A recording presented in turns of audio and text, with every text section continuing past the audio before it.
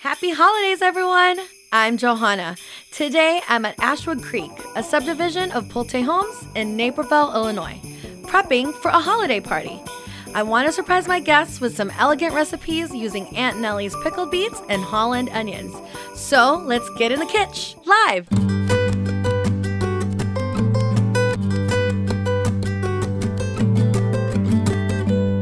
It's all about the holiday season, right? Everybody is looking for maybe some new recipes or how to revamp new ones. We're talking about here these Holland onions, which I love so much. And I have my recipe for Holland onions and leek soup really it, it's great for the holiday season. It's fancy makes you look so gourmet and it's really not that hard to make. And what's really great about these holland onions is that it's perfect for stews and soups just like this now. Because it's pickled i didn't need to add any other vinegar or anything else so it's cut down so it, cuts down the recipes, the ingredients in this dish, and it gives a really nice bite with a sherry wine. It is so good. And I'm gonna show you in just a quick second how to do that.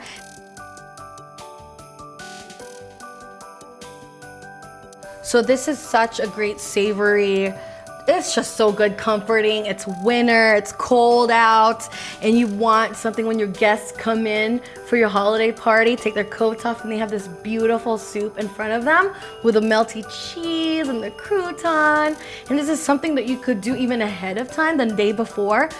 Our butter is nice and melted. I'm gonna put our leeks here. It's about one pound of leeks. So once the leeks are softened. You want them softened. You want them to go down. You know, it's gonna get all the aromas and flavors are gonna come out. It's also good to add a little salt. You always want to layer the flavors of this. A little pepper. And it's gonna help draw out the moisture. All right, so what we're gonna do now is add our Holland onions. Three cans drained.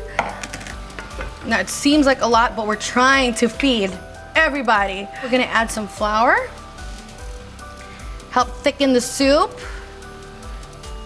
I always love a lot of garlic and everything. This is about three cloves.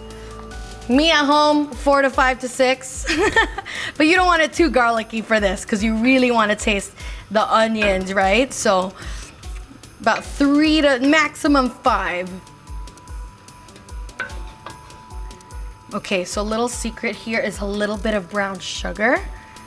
Now the Holland onions are pickled, but this really helps to cut through that and have the flavors come together. Now there's flour here already. Now we're gonna have some sherry wine, or you could do any white wine that you like.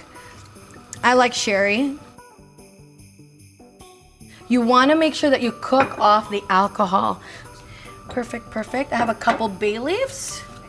So then we're gonna add here, I have a 32 ounce box of beef stock. You could do vegetable stock. At home, chicken stock, beef stock. I really love the richness. We're gonna put the whole thing in here. The entire box. All right.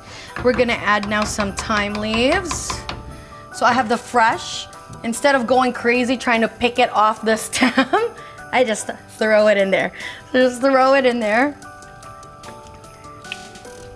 We're gonna let this simmer. Let it all cook together.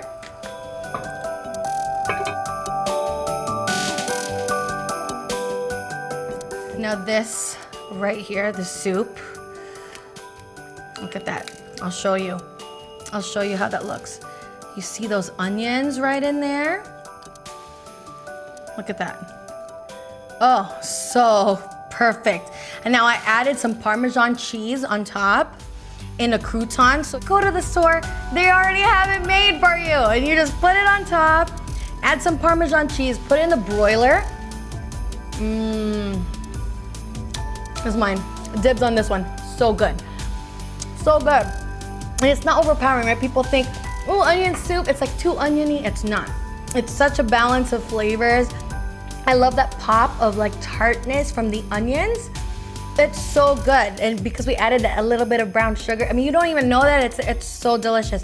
This is a really, really good recipe for the holiday.